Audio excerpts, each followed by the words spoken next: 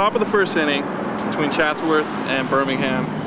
A swarm of bees descended on the field. Uh, there were two outs, a runner on first base, and the batter had a 2-2 count, and the bees just swarmed in, and we had to suspend the game at that point. After we delayed, you know, the game, the bees all decided to uh, come to this point right over here to my left, and they kind of went into a heart shape.